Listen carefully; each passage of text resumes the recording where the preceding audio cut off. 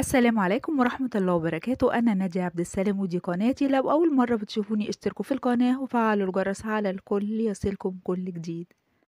النهاردة هعمل معاكم تحلية سهلة وسريعة كلنا بنحبها وخاصة الأطفال. هنقدمها كده بشكل بسيط وحلو وفي نفس الوقت شيك كده يخطف القلب وعين كل اللي يشوفها قبل ما ياكل منها. يلا بينا نشوف الطريقة.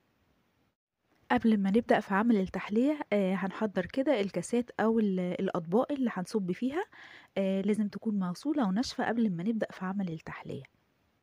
معايا 3 كوبايات كبار من اللبن أو الحليب. هنزل بيهم كده في اللبانة أو في كسرولة في الحاجة اللي أنا هعمل فيها.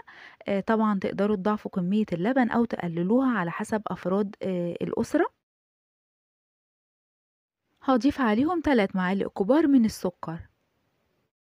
يعني كل كوباية من اللبن هتاخد معلقة كبيرة من السكر وارجع وأقول التحلية هتبقى على حسب الرغبة ممكن تزودوا أو تقللوا عن كده.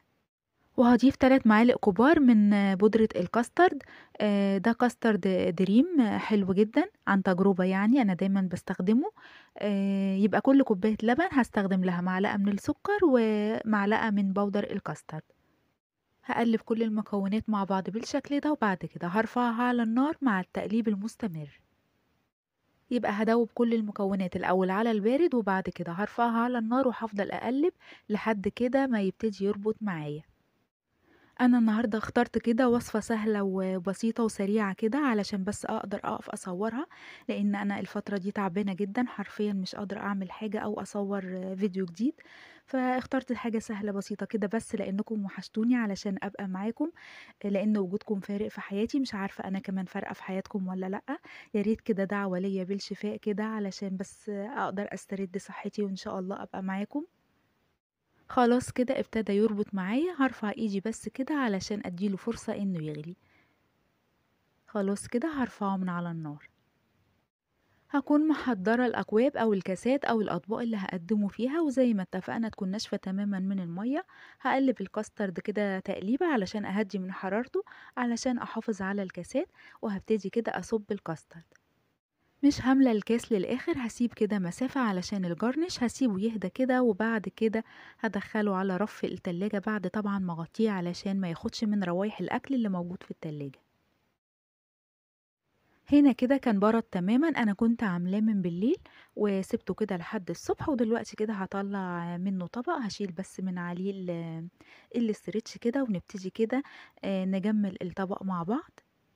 طبعا ممكن يتقدم زي ما هو كده أو تعملوا جرنش بسيط زي ما أنا هعمل كده بس الجرنش ده بيتعمل قبل التقديم على طول يعني ما ينفعش أعمله وأركنه لو أنا عايزة يعني ال- البسكوت كده يكون يعني أحس كده بخرفشة البسكوت. ده بسكوت سادة كسرته كده كسر خشن شوية كده وهضيفه كده على الكاسترد دول كده قطعتين اتنين من البسكوت زي ما أنتوا عارفين البسكوت دلوقتي ما بقاش فيه أي حاجة فدول كده قطعتين من البسكوت كسرتهم بالشكل ده. آه وهنحط عليهم إيه كمان بقى؟ هنحط فاكهة الفاكهة اللي موجودة واللي بتحبوها واللي بتفضلوها. آه دلوقتي كده إحنا في موسم ال- الموز والموز في الوقت ده طعمه حلو جدا وطبعا مغذي آه سواء للكبار أو للأطفال. آه وكلنا بنحبه يعني. هنبتدي كده بقى نعمل جرنش بالموز. أنا قطعت الموز حلقات بميل كده علشان تديني الشكل ده وزينت بيها الطبق. وبكده الطبق بقى جاهز ونقدر نقدمه على كده. بس علشان يعني أولادنا يحبوه أكتر ممكن بس أجمله بصوص الفراولة. الفراولة بتليق جدا مع الموز. نس نستبدل صوص الفراولة بالشوكولاتة ال- أو صوص الكراميل. كمان من الحاجات اللي بتليق معاها جدا. وما أعتقدش يعني هقدم لأولادي طبق بال- بالشكل ده ويرفضوه. تحلية سهلة سريعة حلوة جدا في الفطار أو تحلية بعد الغداء آه كمان حلوة جدا لو هنقدمها لأولادنا كده أثناء المذاكرة. آه طبق مشبع ومغذي. آه إن شاء الله يعجبهم ويعجبكم أنتوا كمان. ولو وصلتم لحد هنا من مشاهدة الفيديو بشكركم جدا. ولو عجبكم الفيديو ما تنسونيش في ال like وال share وال subscribe. واستنوني في وصفة جديدة. و bye bye.